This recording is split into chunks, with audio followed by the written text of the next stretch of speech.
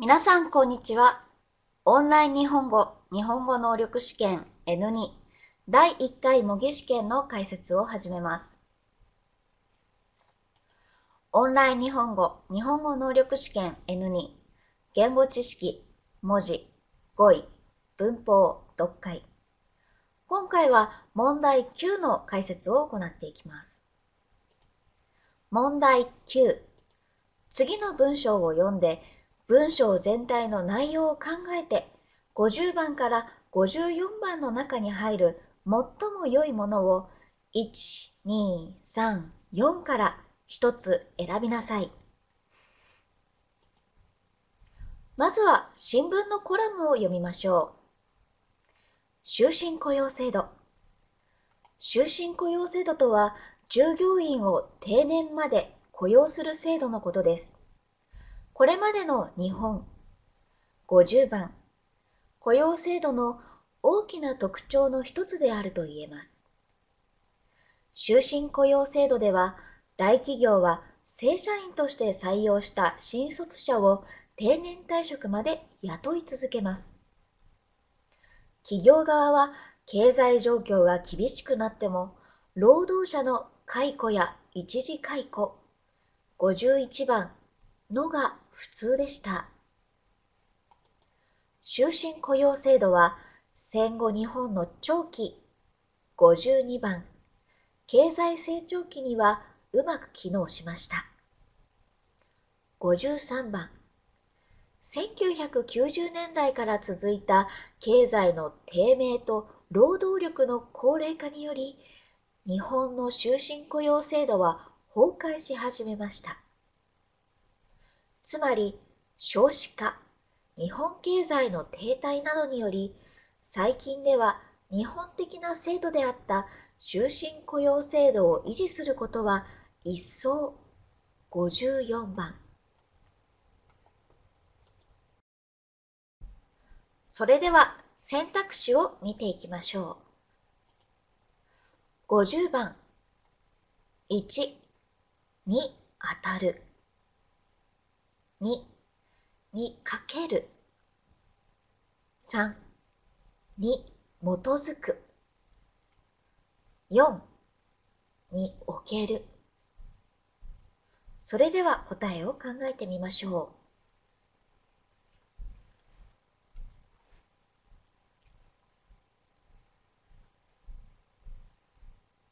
答えは出ましたでしょうか？答えを見ていきましょう。答えは4のにおけるです。日本における雇用制度は日本の場合の雇用制度という意味になります。次の問題に進みましょう。51番1行わう2行わない3認める。4認められる。それでは答えを考えてみましょう。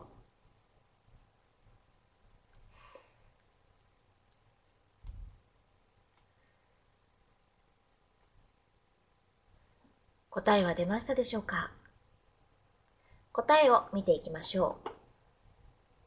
答えは2の行わない。です。問題部分の前に終身雇用制度では大企業は正社員として採用した新卒者を定年退職まで雇い続けるとあります。そのため解雇や一時解雇は行いとなります。次の問題に進みましょう。52番1をめぐる。2のような。3に渡る。4に限る。それでは答えを考えてみましょう。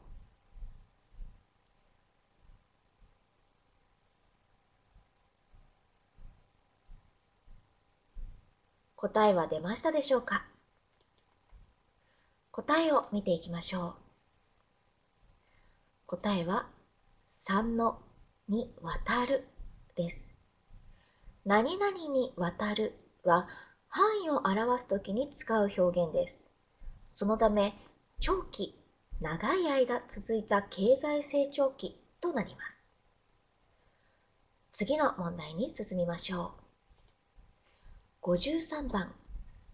1、しかし。2、なので。3、そして。4、にもかかわらず。それでは答えを考えてみましょう。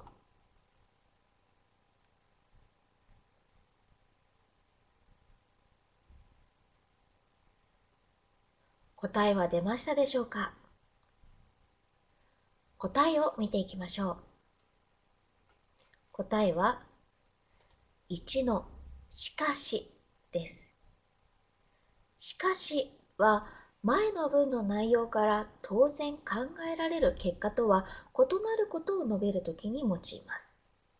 前の文では経済成長期が長い間続いたと記載があり、しかしの後の文だと1990年代から経済の低迷という記載があります。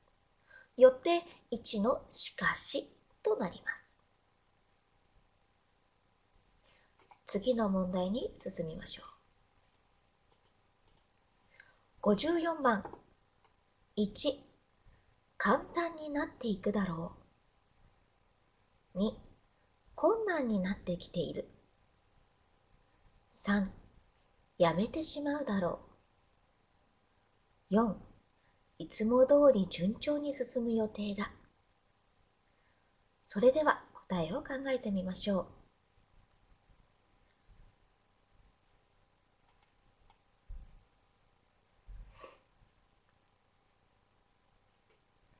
答えは出ましたでしょうか？答えを見ていきましょう。答えは2の困難になってきているです。困難は思い通りに実現することがなかなかできないという意味です。直前の文章で終身雇用制度の崩壊について記述があるため、1と4は当てはまりません。3のようにやめるといった記述はどこにもないため、3も当てはまりません。よって答えは2の困難になってきているになります。